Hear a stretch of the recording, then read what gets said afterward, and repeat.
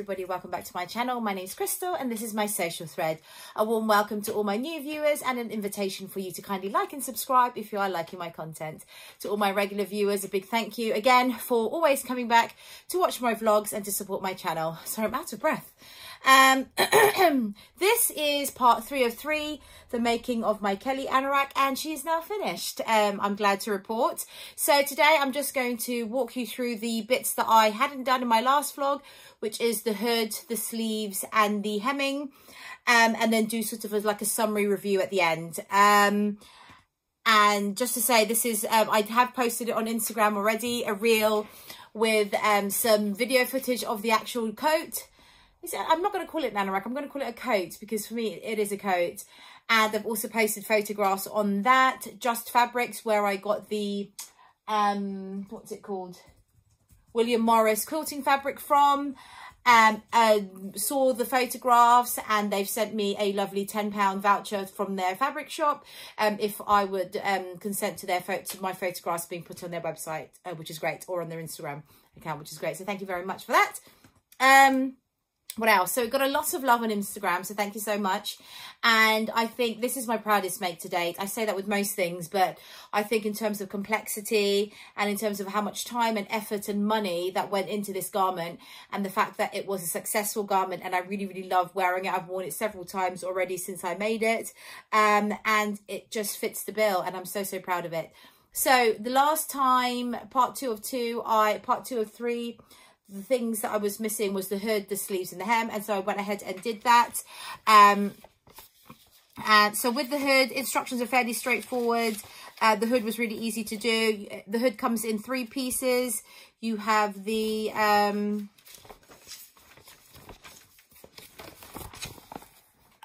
I don't know if you can say you've got the two side bits and then a center back bit and then you have the same again for the interlining and then you also have the facing on either side. So that's the hood done. It was relatively easy to do.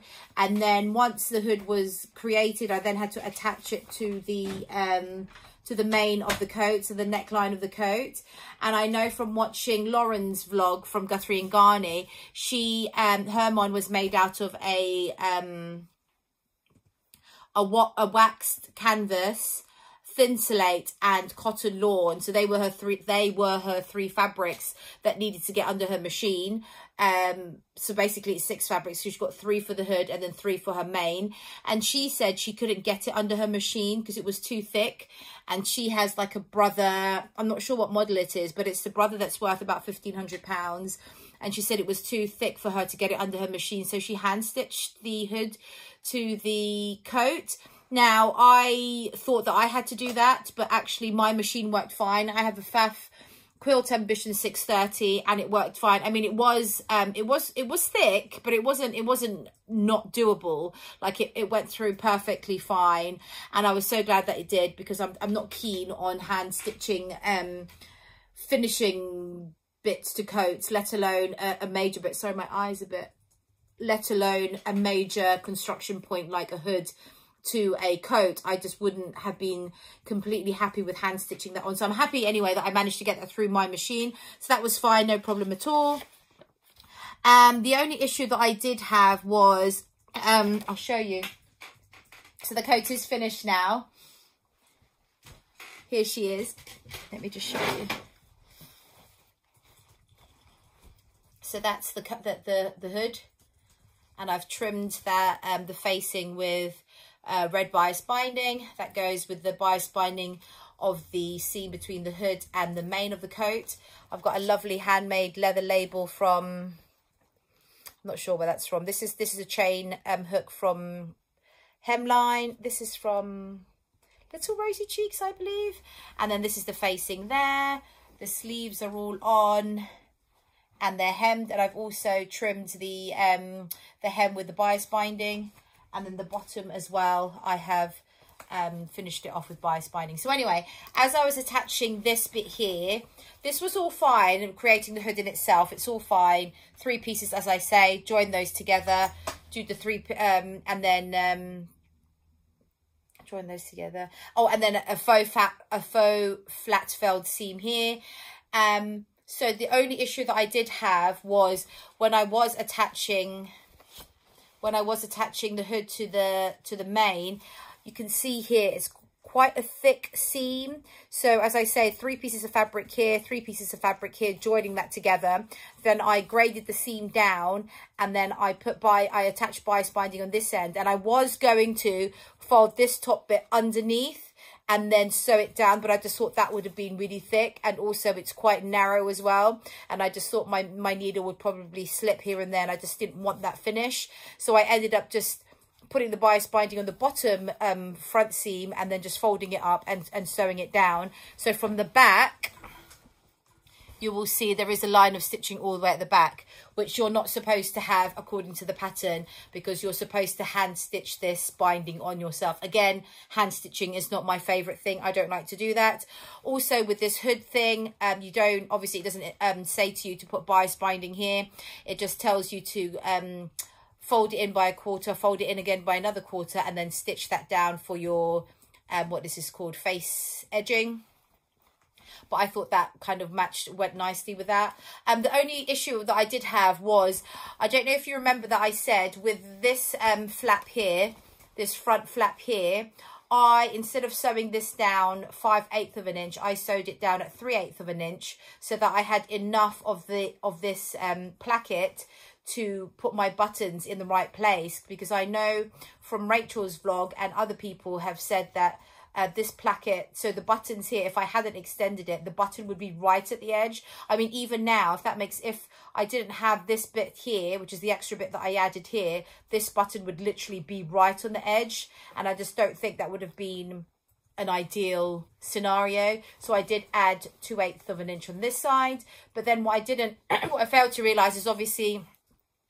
this part here, so this is the facing and the hood, um, it doesn't account for the extra 2 eighths of an inch. So in this bit here, I just kind of, I don't know if you can see, I just had to ease that little bit in there to, to make that fit. You can see that's kind of stretched out a little bit that way so I could ease the end of this bit into there. So what I will say, if I was to make this again next time for anybody else that is thinking of doing that, just to make sure they add the next, literally only 2 eighths of an inch to the end of the facing of the left hand side of the coat just to get that to sit all nicely. The other thing as well was, um, oh, when I was attaching the hood to this part, I originally had the zip facing this way. So it had sewn it down and so it had sewn it down that way. And so the zip was kind of facing this way, which was really, really annoying. I did try to unpick this and remove the top of that zipper tape to make it to make it flat lie that way. But I couldn't do it so instead I just ended up cutting this bit here lying this flat to this way as it should be and then just top stitching it down there so then the zipper lies that way. That was the only thing as well. Oh and also as you can see I've got a couple of I mean I don't know if they're full puckers. I mean that's definitely a pucker there. This maybe it's just the thickness of the fabric um, you know, ironing it out. I don't know. It doesn't really matter. You can't see it with wear. Um, and then, yeah, so that, like I said, this bit here was quite tricky to do because it was just quite bulky and it's not the nicest finish, I don't think, but it's the best that I can do with, with the situation, I suppose.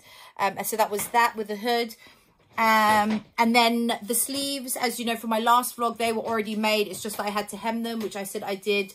Um, I just hemmed, um, instead of doing like finishing it with an overlocker and then hemming it I just used bias binding at the end. And also I only hemmed it by half an inch as opposed to an inch which they recommend. Um, and I think that's quite nice. Uh, with a hem at the bottom.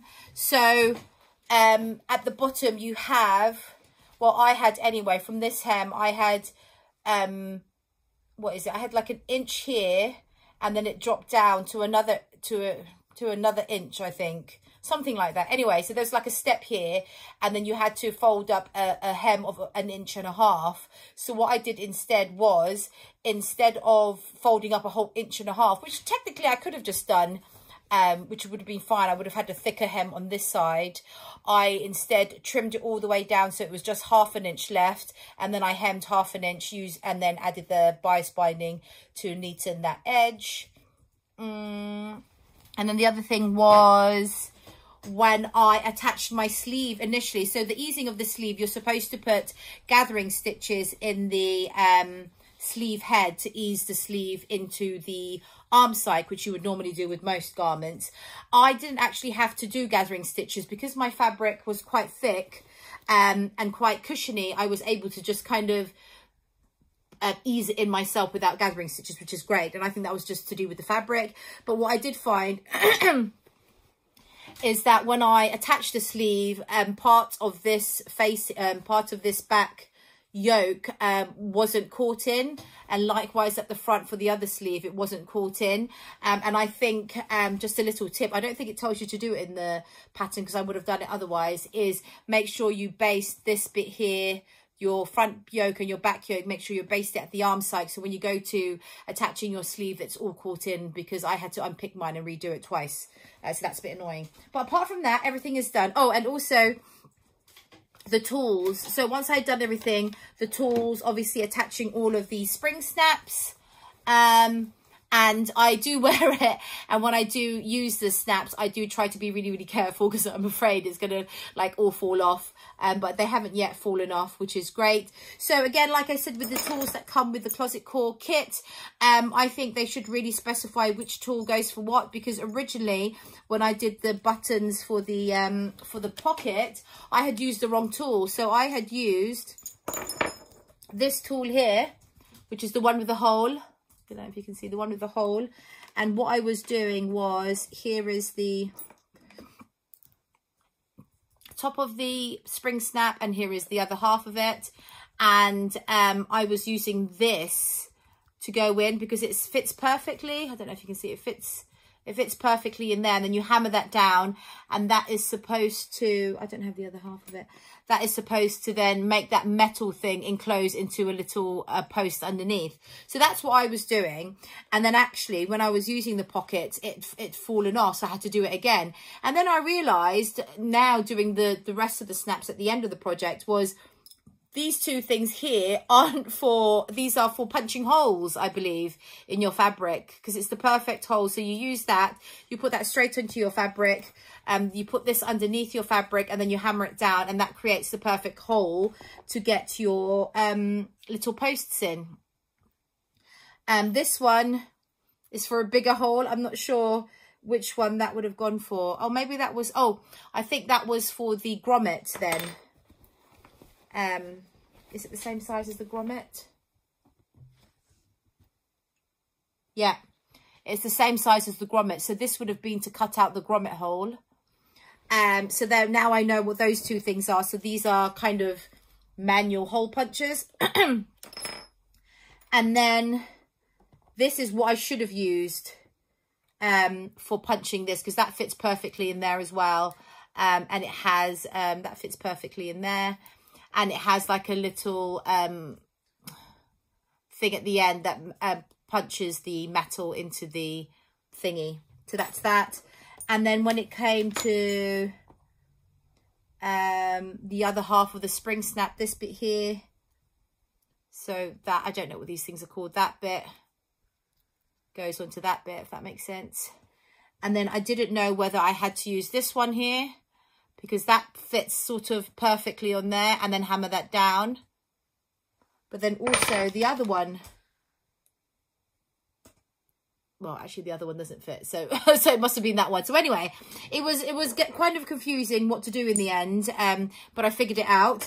And then this little bit here, I don't even know what this bit is. I've never even, I didn't even know what I would use this for. I mean, does that go in there? I mean, I don't know. I don't know what this bit is for. So that comes with a kit as well.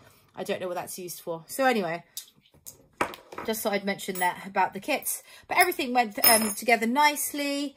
Um, and then I ended up taking this off because it was too um, it was too big for the knot of this knot was too big for it anyway and I only had one as I say on my kit and when I opened it up I only had one which is a shame and everything else is great um what else did I want to say let me try it on um, so let me just show you. So that's the hood lining. There's the facing with the light with the trim. That's my handmade sign there. So this is the inside. So that's just overlocked. Um, that's that side there, the zipper on that side, overlocking again. This is my um, um, waist channel. And that's the bias binding at the bottom. These are the pockets. It's a bit of fabric showing there. Um, and then that's the back as well. And let me try it on. And it's actually quite nice because I've tried it on with a thick jumper and it fits as well. So I'm not sure how this toile issue actually, you know, because when I did the toile and I put a thick jumper on, it wasn't working. Anyway, I guess the toile is useful, but don't use that as your kind of be all and be all or end all you know if the toile doesn't fit then the coat won't fit kind of thing. Although i suppose that's the whole point of it. But what i'm trying to say is the toile fitted me with a just this sort of a t-shirt fabric on um, but it didn't so much fit me with a jumper on. I have tried this on with the jumper and it fits perfectly fine. Um so there is a lot of room in there. So that was just very lucky. So this is how it fits. The chair out of the way and it's nice that when I wear it open or even the hood, you can see all of that gorgeous fabric and that red pop of colour there, which I think is really, really nice. And I would just wear it open like this. You can obviously adjust um, this to cinch in the waist if you wanted to, which I kind of just do it loosely. Um, so that's what it looks like. And then it obviously buttons up really, really beautifully as well. Um, let me button it up. Not button it up, zip it up. And then button it up. So there you go. Ow. All the way to the top. Ooh. Oh. All the way to the top. And then the buttons do work. Let's hopefully it doesn't um, all pop off as I'm doing this video. Hands in pockets.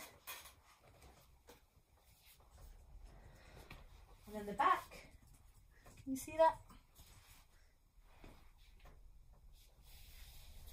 So very happy with that.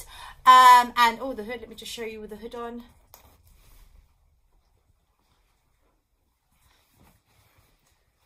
So the hood is a good fit as well. Uh, my only qualm, I mean, it's not the fault of the pattern, is that obviously the wool against my neck is a bit itchy, but I mean, that's not really something that the pattern can help. Um, and this is my anorak. I'm really, really loving it. I think it looks really, really um, quite expensive, actually. And actually, it is expensive. I mean, by the time, you know, the amount of time and money you spent on it, it is actually um, an expensive item. So I would... Um, I would estimate the cost that I've spent on this fabric wise and everything. So um was about i would say about 150 pounds. So that's the um the wool. This is the X Barber 100% herringbone wool which is gorgeous. It's herringbone and then it has like a tart like a grid effect as well on the top which is amazing. Um and i think that was about i think it was about um 20 pounds a meter maybe. So that was three meters. I did have three and a half meters but i didn't end up using the extra half meter because i didn't extend the length of the coat because it wasn't necessary. So three meters of that i think it was about 20 pounds a meter. So that's 60 pounds.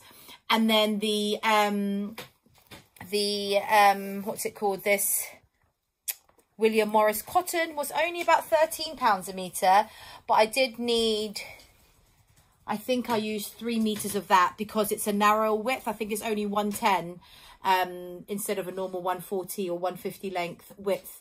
So I used three meters of this. So that's 39 pounds plus 45 is 85 pounds ish. And then the thin Thinsulate was about 14 pounds a meter and I bought two plus postage and packaging. I think it was 35 pounds altogether. So that's 80, 90, 150 115 already. And then what else did I buy? Um, I mean, the acetate was quite cheap. That was like, I think it's like two pounds a meter for that. Um, and then all the hardware, I'm not actually sure how much the hardware was, but I'm assuming it was about 20 pounds of the hardware, if not more. So that's 135 pounds. Bias binding was very cheap. Um, I would say about two pounds maybe for that. So that's a hundred and i've lost my count already. 128 pounds. Oh the thread. You need about three spools of thread. I use the Gutermann thread two pounds each from jenny stitches although elsewhere they are a bit more expensive. But it doesn't actually tell you on the project how much thread you need which is a bit silly really because I, I would assume most people would think that you would need one one spool of thread maybe two because it's a coat. But if you you actually need three and I think if they don't, they should tell you how much you need, like on average or generally, just because if you've got a particular coloured fabric and you're doing your project and you run out and you can't remember the, the colour match code of the thread or you just can't get any of that thread, um, then it's a bit of a shame to have to pause your project to get more supplies. So I use three and a half Gutermann's, no, three spools of Gutermann's thread um, and also some red thread for the for the binding. And luckily what I was able to do for example when I was doing the hem I was able to do um put red thread in my bobbin and the brown thread in my top thing. And I was able to sew that together so you could only see the brown on that side and the red on that side. So that was quite handy. Um and then what else was I gonna say that's thread Oh, and also I've discovered that one Gutermann spool can fill three bobbins. So when I first started, I just pre-prepared three bobbins just so that every time my bobbin ran out, I didn't have to un um, unthread my machine and and rewind and fill up some bobbins. So I did three bobbins, and the reason I did three bobbins was because that's how much one spool of thread um, used up. So three bobbins e equals one Gutermann spool, which is re really interesting to know. So that's that. Let me post some photos just of the of the coat um, by itself. Um, and I did do a reel on Instagram to some music and it was really lovely. Although, funnily enough, when I tried to add a video in video pictures in my vlogs on iMovie, iMovie doesn't seem to be able to um, to convert the file. I'm not sure. Maybe my iPad is full or my Google Drive is full or what have you. So I can't actually put um, videos in my little screen thing. So, I mean, doesn't matter so yeah that's my kelly anorak i really really like it so much so that i am actually considering making another one. My 16 year old says she really loves my one and she'd like another one. And i was like oh it takes so long to do but then she said oh mom it will be mine but you can borrow it as well so you'll have two anoraks. Uh, so i'm trying to find some nice fabric. I probably will go with sort of the wool again and the definitely the thin-insulated quilted interlining. Um so i'm just looking around for some um nice um color combinations to put another kelly anorak together um, so definitely think it's worth it.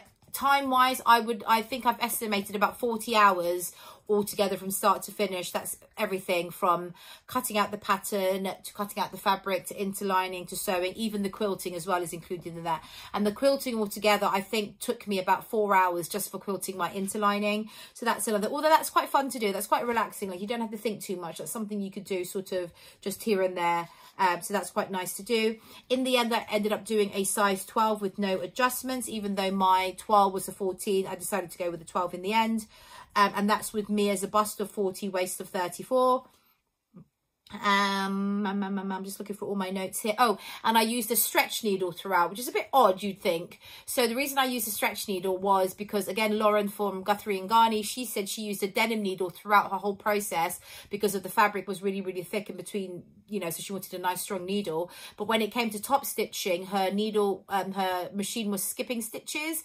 And she suggested that a stretch needle would be best because the eye is higher on the stretch needle because it allows for something or other, it allows the loops to be become bigger um, to accommodate stretch in a fabric and that is very good for top stitching apparently. So she then switched over to a stretch stitch.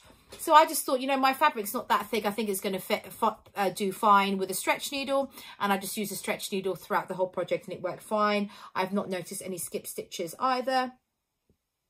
Um, what else? Sorry, the baby. I can hear the baby crying in the background. Um,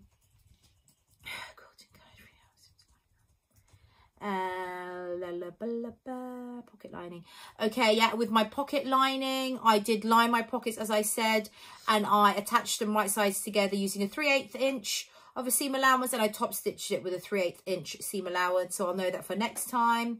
Um, definitely, if I do make it again, I'll make sure that I attach the sleeve one seam at a time. So then I can at least flat felled seam one seam fully. Even if I can't do the second one, I think that first one would be nice to have it as a flat felled seam. Elbow patches. I forgot the elbow patches. Again, I had to attach those whilst the two pieces of the sleeves weren't yet attached together. Um, so that's one thing that I would like to do for my next one. Um, cuff MC, tagging front, I've done that already. Fabric not usable, holes, yeah, that's it. That's all I have down on my notes. So all in all, a really, really good make. Instructions aren't, they are good, but they are, I mean, according to my, from my experience, there were a couple of issues I found, uh, but that could just be me. So I've written notes on my, um, on my um, instructions for next time. It is a very, I think because I've spent so much time just curating all the fabric for this, like I wanted the wool, I wanted the Thinsulate, I wanted, you know, all these, you know, various bits and pieces to come together. I really enjoyed the process and I really uh, love the resulting garment. Again, 40 hours, if you don't have that time, you know, you could do it over a longer period of time. I think I did it over about a week and a half. Um, but it is a really, really lovely make at the end. And it's almost like an heirloom piece. Like, um, actually, when I went to my Friday sewing class um, um, in Walsingham where I meet um, other mums and my children have their social meetup and things. One of the mums um, saw me walking through the car park and she was like, you didn't make that coat, did you? And I was like, I did, I did. And she was just so super, super impressed about this coat. And she was like, if you're ever going to sell them, please let me know because she'd like to put an order in. And then I thought to myself, gosh, it took me 40 hours plus like 150 pounds worth of um, materials. And you know realistically speaking i'd be selling it for five and a half five hundred and fifty pounds. And i don't think people would pay that. Some people may. I don't know. They may well do. But i think people think that um, maybe making your own is cheaper when it actually really isn't. I think the only time you could actually save money is obviously if you get fabric, you know, trawl around for um, inexpensive fabric or if you get like poly mixes or if you're making like um, occasion wear. Sorry, my eyes are doing funny things today. I think occasion wear, you will save money on occasion wear because occasion wear like weddings and things, you know, you, you, you end up buying a dress for like 180, 200 pounds. Well, you could probably uh, make a dress for cheaper than that. But everything else, normal casual wear, normal dresses, normal coats, everything is much more expensive if you make it yourself. Um, so that's that. Um, and what else did I want to say? So all in all, very good make. I would highly recommend it. It's not for the faint-hearted. It's something that you do need to do a lot of research about and just take it slowly one day at a time and you'll get a lovely perfect coat at the end. Um, that's the baby crying, so I'm going to have to go. But thank you so much for watching. I hope you really enjoy um, looking through my videos and watching my um, the rest of the vlogs that come with this. I've got part one, two, and three.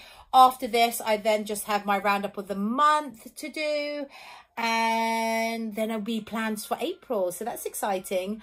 Um, thank you so much again for watching and I will see you again next time. Um, hopefully that vlog wasn't too long for you. Take care again. God bless. Bye-bye.